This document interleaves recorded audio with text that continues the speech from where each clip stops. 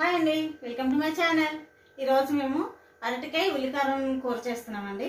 దానికి కావాల్సిన పదార్థాలు ఏంటో అవి ఎలా తయారు చేసుకోవాలో చూద్దామండి ఈ విధంగా చక్రాల్లా సన్నగా కట్ చేసి పెట్టుకోవాలి. అరటి ఇదైతే రెడీ చేసి పెట్టుకోవాలండి. తర్వాత ఉల్లికారానికి ఉల్లిపాయలు. నేను పచ్చిమిరపకాయలు వాడుతున్నాను. దీంట్లో పచ్చిమిరపకాయలే ఉండాలండి. ఎర్రగా ఉండకూడదు కారం. ఇది కావాల్సినంత చింతపండు. చాలా తక్కువగా వాడాలి చింతపండు టేస్ట్కి. లేదు ఇది అవసరం లేదనుకుంటే దీన్ని వదిలేయచ్చండి పర్వాలేదు. ఉల్లికారంలోకి వెల్లుల్లిపాయలు కావాల్సిన తగినంత ఉప్పు జీలకర్ర గార్నిష్కి కరి అది కొత్తిమీర కొంచెం పసుపు ఇంగువ. ఇదండి దీనికి కావాల్సింది. ఇవి మనం ఫస్ట్ కొంచెం ఫ్రై చేసుకుని పెట్టుకోవాలండి. దానికి నేను ఆల్రెడీ నేను ఆయిల్ వేసుకుని నేను ఆన్ చేసి పెట్టానండి. వేడెక్కింది. దీన్ని ఇప్పుడు మనం వేద్దాం. ఫ్రై చేద్దాం. ఇదిగోండి. నీళ్ళలో వేసుకోకపోతే నల్లగా అయిపోతాయి కదా అందరికీ తెలిసిన విషయమే. అయినా మళ్ళీ ఒకసారి గుర్తు చేస్తున్నాను. బాగా నీళ్ళు వాట్ చేసి ఫ్రై చేసుకుందామండి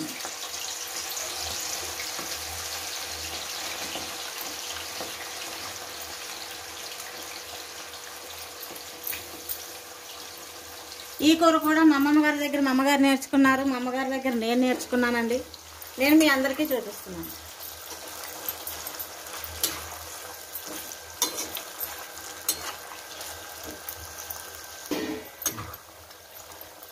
ఇవి వేగేలోపు మనం ఇది ఉల్లికారం రెడీ చేసేసుకుందామండి. నేను మిక్సీలోనే వేస్తున్నాను.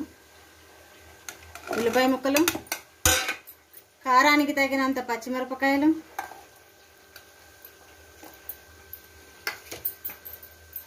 కొంచెం జీలకర్ర వెల్లుల్లిపాయలు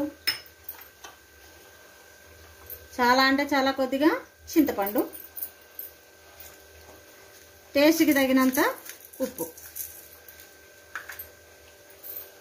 ఇప్పుడు మిక్సీ పట్టేద్దామండి. ఇదిగోండి ఈ విధంగా మగ్గితే చాలు. మనం ఇలాగ ఉంటాయి మనం నూనెలో వేయించుకున్నది అరటికాయ ముక్కలు. ఇలా తీసేసుకుని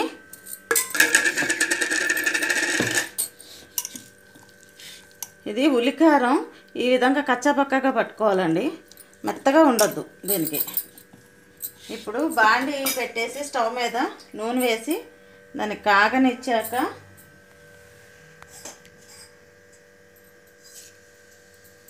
జీలకర్ర వేసాను.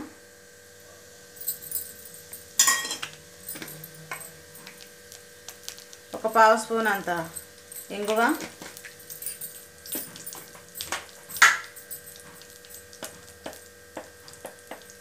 ఒక పావు స్పూను పసుపు.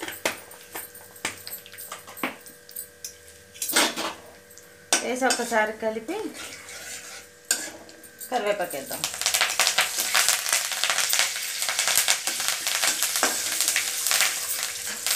కరివేపాకు వేగిన తర్వాత అప్పుడు ఇది. ఈ ఉల్లికారం ముద్దను వేసి పచ్చివాసన పోయేంత వరకు పచ్చిదనం పోయేంత వరకు వేయించుకోవాలి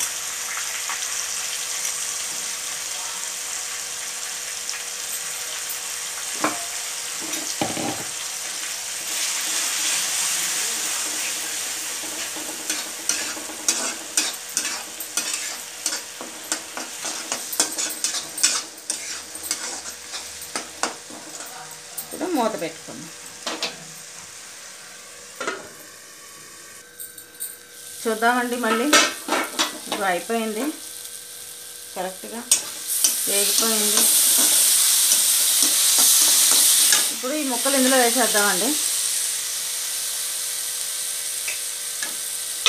ముక్క విరగకుండా మంచిగా కలుపుకోవాలి చక్కగా.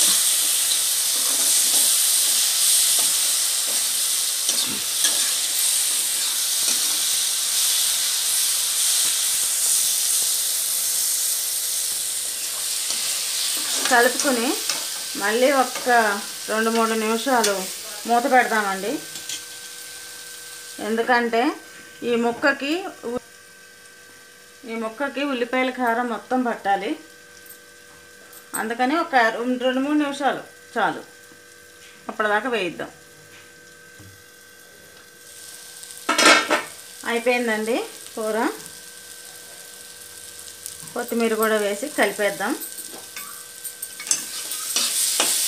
చూసారా? ముక్క విరగలేదు. ఈ కూరకి ఇలాగే ఉండాలండి. ఇలా ఉంటేనే బాగుంటుంది దీని టేస్ట్. మరి ముక్కలు కూడా మెత్తగా మగ్గిపోయి ఇది, మెత్తగా అయిపోయి అదేం బాగోదండి అలాగా. ఈ కూర రైస్కే కాకుండా చపాతీకి పరోటాలకి పుల్కాలకి ఆఖరికి దోశలకు కూడా బాగుంటుందండి. ఇప్పుడు స్టవ్ కట్టేద్దాం. గార్నిష్. బౌల్లో తీసేసి.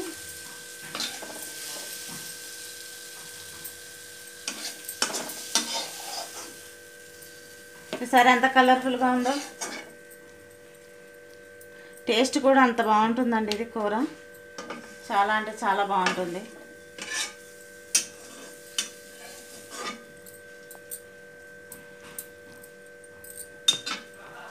ఇప్పుడు లైట్గా మళ్ళీ కొత్తిమీర గార్నిష్ చేసుకుని ఇంకా సర్వ్ చేసుకోవడమేనండి. ఇదండి. అరటికాయ ఉల్లికారం కూర. చాలా చాలా బాగుంటుంది. తప్పకుండా ట్రై చేయండి. మా వీడియో కనుక మీకు నచ్చితే లైక్ చేయండి సబ్స్క్రైబ్ చేయండి షేర్ చేయండి. Thank you thank you so much.